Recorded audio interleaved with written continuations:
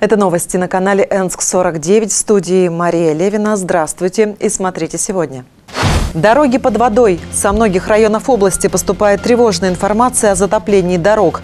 В селе Базово прорвало дамбу, отрезана часть поселка и крупный животноводческий комплекс. От Алтая до Шанхая. Представители аэропорта Толмачева рассказали о планах на лето. Появятся новые направления, все пассажиры будут обслуживаться в новом зале.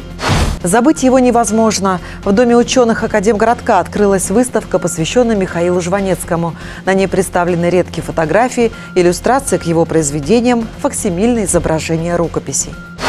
А теперь подробнее об этих и других темах. Некому ухаживать почти за полуторатысячным стадом коров. В Чулымском районе поселок Базово, где находится крупный животноводческий комплекс, оказался отрезанным от большой земли. Временную переправу через реку Карасук размыло паводком. Степень критичности ситуации оценила наша съемочная группа, побывавшая на месте. Напомним, что автомобильное сообщение с поселком Базово в Чулымском районе уже страдало буквально прошлой осенью. Тогда обрушился железнобетонный мост через реку Карасук, но довольно быстро по малой воде удалось сделать временную переправу. Однако пропускная способность труб, уложенных под насыпь, явно не была рассчитана на уровень паводковых вод. Это предвидел глава регионального Минтранса еще в прошлом году. Мы эти трубы разберем, чтобы пропустить паводок. Это река Карасук. У нас беспокойный весенний период. И э, установим э, временный мост. Паводок пропустим и дальше будем продолжать работу. Вот только временный мост так и не появился. А ведь отрезанным от части поселка оказался довольно крупный животноводческий комплекс, на который несколько раз в смену теперь надо перевозить людей. Обещали, что будет какая-то там военная переправа, либо понтонный мост. Но на сегодняшний день ничего нет. Вот, людей каждый день приходится каждую дойку два раза в день перевозить и увозить на ту сторону. Ну, то есть сложности есть. Местные власти о проблеме знают. Сюда приезжала целая делегация, поговорили, пофотографировали, рассказывают люди, и уехали. Реакции властей, ну, я пока не заметил. Вот привезли а, три кучи а, щебня или непонятно чего. Перекрыли дамбу и все. Техники нет, вопрос вообще никак не решается. Поэтому животноводы стараются решить возникающие проблемы своими силами. Но получается не все. К примеру, из 30 работников в таких условиях до комплекса добирается чуть больше 10. 1300 голов у нас э, скотины получается. Это хорошо, мы успели вчера маленько хоть какую-то технику отогнать, чтобы э, как-то было на той стороне. И то сейчас коснется у нас заправочная станция, у нас здесь находится. Как будем сейчас технику, солярку, а техники все равно нам мало. И люди все. У нас э, ездит определенная ходила развозка людей, что со всех деревень мы собирали. У нас не, не, рабочие не только с этой деревни работают, а еще соседних. У нас идет растел коров и а, ни персонала, ничего. Вот такая вот картина. Конечно, такая картина не только в Базово. В связи с обильным снеготаянием с 30 марта в Новосибирской области произошло свыше 30 переливов талых вод через проезжую часть. Случилось это в 11 сельских районах. Пострадали и федеральные трассы. В Коченевском районе из-за высокого уровня воды полностью закрыт проезд по двум дорогам, а по трассе Новосибирск-Кочки-Павлодар введено реверсивное движение. Проблем много, но это не означает, что о селе Базово стоит забыть. Страдают от паводковых вод в Новосибирской области не только дороги. В поселке Верх-Тула так затопило несколько улиц, что люди буквально не могут выбраться из дома. Как выяснилось, проблема эта не разовая, она возникает каждой весной. Верх-Тула, улица Кобызева. Такое вот явление. Даже из дома выйти нет особой возможности. Под массированную паводковую атаку в этом году вверх Туле сильнее всего попали жители улицы Кобызева. Это новый район поселка. Татьяна, его жительница, которая к нам и обратилась, по просьбе своих соседей дом купила три года назад. Говорит, даже не подозревала о том, что весной в этом месте образуется обширный водоем со своим течением. Администрация нам сегодня задавала вопросы в формате, а зачем вы здесь покупали землю, как бы здесь же вот топят, вы сами на это пошли. Но мы, к сожалению, об этом не знали, как об этом не знали люди, которым эти участки здесь выдавали.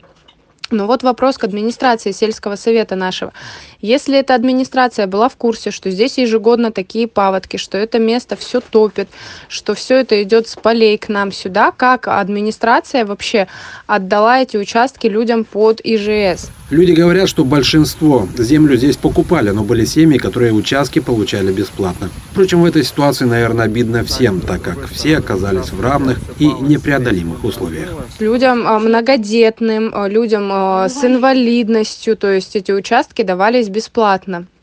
И вот мне просто сейчас интересно, если мы взрослые, полноценные, да, слава богу, здоровые люди, не можем выбраться из своего дома, не стоя, извините меня, под самую попу в ледяной воде или там по колено местами, где глубже, где меньше воды, вот, э, то как бы как сейчас должны были бы отсюда эвакуироваться элементарно какие-то инвалиды, как сейчас должны эвакуироваться многодетные мамочки, которые сейчас с детьми заперты в своих домах. Жители рассказывают, что власти Верхтулы каждый год обещают сделать хорошее водоотведение, чтобы избежать подобных наводнений. Однако эти намерения, похоже, до сих пор только намерениями и остаются. У людей каждый год вымывается с огородов плодородный слой, гибнут озимые посадки, многолетние растения, вместе с водой уплывают все старания старания по благоустройству участков. Инвалиды и многодетные семьи, которые, говорят люди, здесь тоже проживают, не могут выбраться из своих домов. Но чиновники все чего-то ждут. Неужели и в этой ситуации должно случиться нечто такое, что мотивирует вертулинские власти на конкретные действия? К наступлению летнего туристического сезона готовятся не только сами отпускники, но и службы аэропортов и даже таможенники. О том, как предстоящим летом намерены обслуживать пассажиров Толмачева, расскажет наш корреспондент. Новосибирская воздушная гавань к весенне-летнему туристическому сезону готовит значительные изменения, призванные не только повысить безопасность пассажиров, но и их комфорт. В ближайшее время мы откроем э, совместную регистрацию на международные и внутренние вылеты в теперь уже новом обжитом терминале. А, то есть пассажиры смогут в одном месте проходить регистрацию не а, без разницы о направлениях. Также будет а, досмотр осуществляться тоже единый. А, пассажиры следуют а, в одну зону досмотра, комфортную, новую, с новым оборудованием, просторную. И только после этого потоки разделятся. Здесь не заблудишься, все направления подписаны и указаны стрелочками. Появились и галереи для трансферных пассажиров, тех, кому необходимо для продолжения маршрута пересесть, к примеру, с международного рейса на внутренний или наоборот. Это актуально, так как международная программа в Толмачево развивается. Так, авиакомпания «Аэрофлот» у нас в летнюю программу входит, помимо Бангкока, Пхукета, появляется направление Анталии. У нас базовый перевозчик, э, который добавляет на второе направление в Китай. Например, у нас появляется Шанхай, и к осени э, планируется открытие Дели. Помимо этого, э, базовый перевозчик также выполняет уже направление в Арабские Эмираты, летают они в Анталию. В аэропорту констатируют, что рынок международных перевозок оживает, открываются новые направления, возвращаются к работе авиакомпании, ранее ушедшие с наших радаров, должны получить развитие и в внутренней пассажироперевозки. У нас очень большой поток появился пассажиров на Байкал, которые хотят путешествовать. Ну, это как пример. Появились рейсы в Горно-Алтайск, стабильно летающий Барнаул, да, и теперь можно, так сказать, на ближайшие наши э, туристическую такую локацию попасть за практически полчаса, прилететь из э, Столмачева туда. То же самое мы летаем в Новокузнецк, Таможенники поста Толмачева тоже готовятся к началу туристического сезона. С открытием новой, оснащенной современным оборудованием зоны досмотра, работа обещает стать более оперативной и эффективной. А потому пассажирам соблюдать таможенное законодательство придется еще тщательнее, чтобы не стать его нарушителем. А такие по-прежнему есть. Граждане нарушали таможенное законодательство чаще всего при перемещении табачной продукции, алкогольной продукции, провозимой сверхустановленной нормы для физических лиц, также холодное оружие, электрошоковые устройства, недекларирование валюты, наличных денежных средств. Чтобы не омрачить себе отдых, таможенники советуют заранее ознакомиться с правилами ввоза и вывоза товаров тех государств, которые вы посещаете. Ведь даже сувенирная продукция одной страны может оказаться запрещенной к гражданскому обороту в другой. В Новосибирской области продолжается голосование жителей за набережные парки и скверы, которые в рамках федерального проекта будут благоустраивать в следующем году. О том, как идет этот процесс, а также об одном из городских проектов Советского района, сейчас расскажем. Регион выбирает объекты, которые будут благоустроены по федеральной программе формирования комфортной городской среды в 2025 году. Порядка 127 тысяч человек приняли участие в голосовании по всей Новосибирской области и более 70 тысяч в самом Новосибирске. В административном центре на выбор предложены 8 объектов. Это набережные, парки и скверы тот проект, который в городе наберет больше всего голосов и будет принят в работу по аналогии с областью. Уже начали определяться лидеры – Советский, Кировский и Ленинский районы. Если говорить о Советском и Кировском, это две набережных. То есть и они, ну, такие, если посмотреть на сами эм, дизайн проекта, то они такие масштабные. И эм, большое притяжение, я думаю, будет жителей. Третий, скажем так, наш как лидер, да, это Ленинский район. Но это у них сад Кирова, э, это тоже знаковое место для района, где проходит масса всяких мероприятий тоже большое притяжение. Мы побывали в Советском районе, где нас познакомили с дизайн-проектом «Набережной», участие в создании которого приняла Новосибирская ГЭС. Новосибирская ГЭС э, с самого начала э, вышла с инициативой о, об изменении существующего состояния набережной, поскольку является ну, Э, достаточно привлекательным местом а вместе с администрацией района, вместе с э, волонтерскими организациями, вместе с ветеранами, вместе просто с инициативными жителями. А вот родился такой проект. Проект этот призван значительно преобразить набережную микрорайона ОБГЭС, учитывая, что это место по душе многим горожанам, не только жителям Советского района, идея выглядит вполне актуальной. А чтобы повысить активность местных жителей, работают волонтеры. Некоторые люди слышали про голосование, но у них не было возможности зайти, почитать, посмотреть, как это сделать. Ну, то есть какие-то технические небольшие сложности, и они помогают в процессе проголосовать. А пожилым людям помогают проголосовать, потому что для них это тоже ну, довольно проблематично. Напомним, голосование проходит в рамках федеральной программы формирования комфортной городской среды национального проекта «Жилье и городская среда». Возможность выразить собственное мнение и поддержать свой район или другую территорию, то есть принять участие в благоустройстве любимого места отдыха у новосибирцев и жителей области будет до 30 апреля 2024 года. Мошенничество в особо крупном размере при строительстве детского сада по нацпроекту «Демография». Сотрудники управления ФСБ задержали подозреваемых в мошенничестве при строительстве детского сада в Тагучине.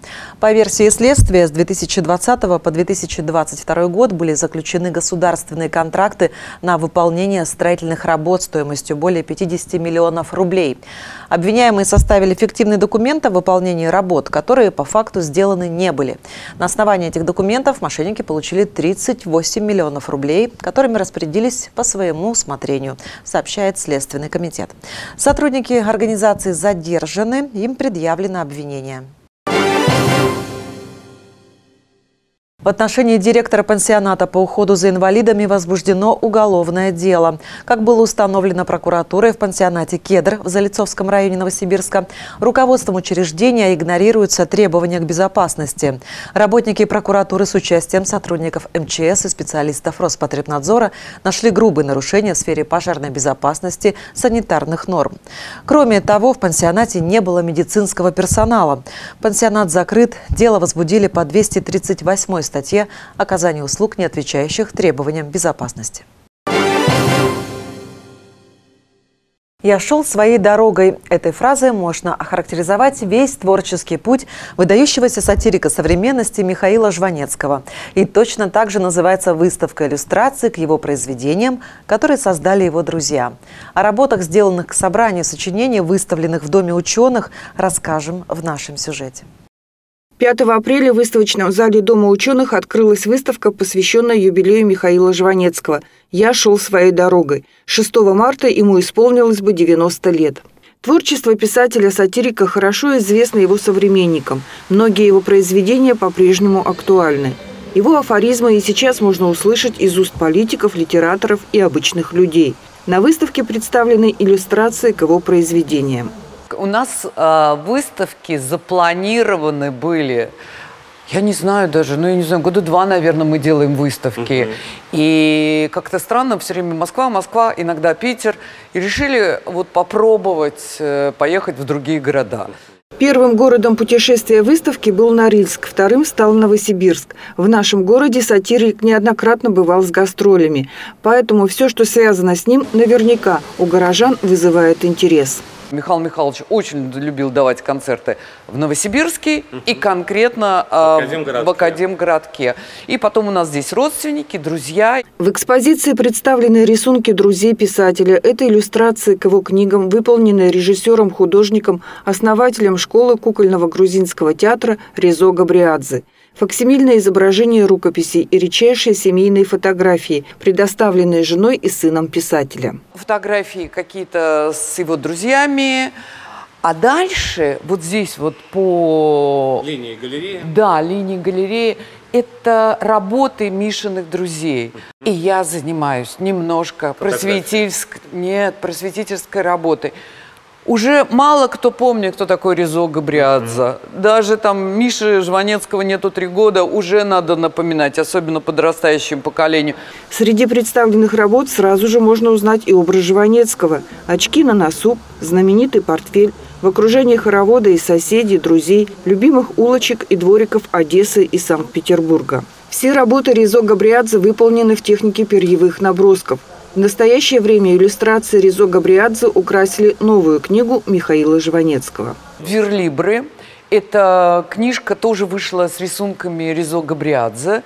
У Миши 5 или 6. Э, все э, вот эти рисунки – это иллюстрации к книгам, пятитомнику было. И сейчас вышли верлибры тоже с его рисунками. Верлибры – это такие кто-то говорит белый стих, кто-то просто ритмические произведения, но там присутствует мелодика. Произведения Жванецкого, конечно, смешны, но в то же время это серьезная аналитика событий и государства, и характера людей, над которыми стоит глубоко призадуматься. Точно так же и на выставке. Это, на первый взгляд, смешные и нелепые человечки, но на самом деле в этих иллюстрациях отображены, возможно, даже и вы. Выставка «Я шел своей дорогой» проработает в Доме ученых до 28 апреля. На сегодня это все. Мы следим за развитием событий. Наши новости всегда на сайте ensk49.ru и в социальных сетях. Ваши мы ждем в рабочее время по номеру 277 0049. Спасибо, что были с нами. Всего вам доброго и до новых встреч.